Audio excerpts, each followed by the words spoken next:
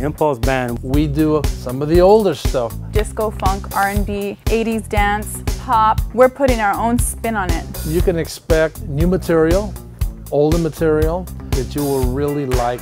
And it's just like magic. Mike Perez on vocals, Arthur on guitar, Danny Ramirez on keyboards, Ray, my drummer, Ralph on timbales, vocals, Miss Mina DeParis.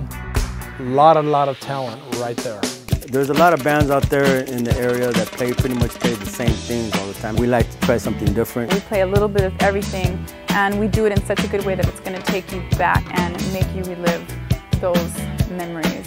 We can't wait to see you.